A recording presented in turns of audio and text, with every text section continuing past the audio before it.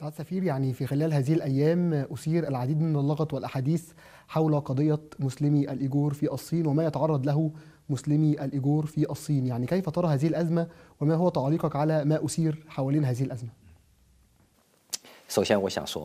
فما تتداول هذه الأيام في ال social media حول اضطهاد الصين للمسلمين أو بقومية آه، الإيغور الصينية.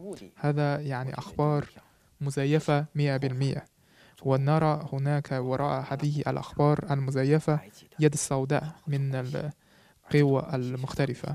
وهذا بهدفين أولا تخريب علاقات الصين بمصر وبالعالم العربي وبالعالم الإسلامي. يعني آه، تخريب الصداقة الودية والتقليدية بين الصين وبين الشعوب العربية والشعوب الإسلامية.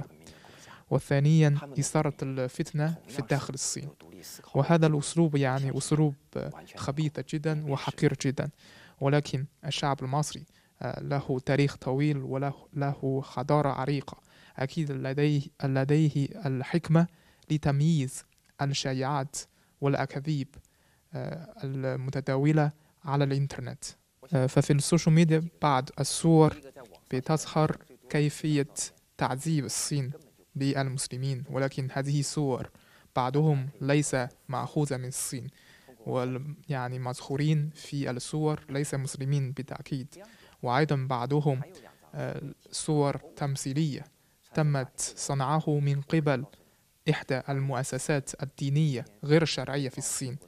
وصاحب آه، هذه المؤسسة الدينية غير الشرعية اسمه لي هونجي.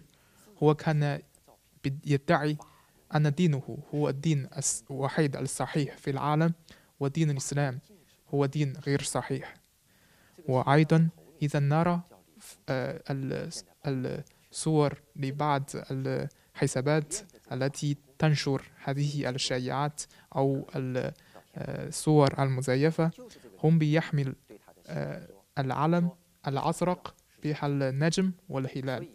هذا العلم هو العلم بتاع إحدى المنظمات الإرهابية يسمى بحركة تركستان الشرقية الإسلامية وتم تصنيفها من قبل الأمم المتحدة كمنظمة إرهابية. جزيل الشكر طبعا للزميل محمد عصام على اللقاء مع السفير الصيني.